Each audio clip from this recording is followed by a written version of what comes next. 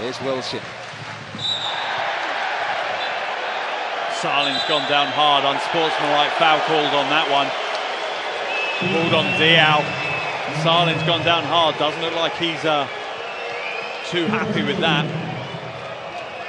There's nothing like a glide start to overtime, is there? No, absolutely not. Oh, shocking play by Diao. Absolutely clothesline Salin on his way through. That move belongs in the wrestling ring, not the basketball court. I'm not sure how he thought he was going to get away with that.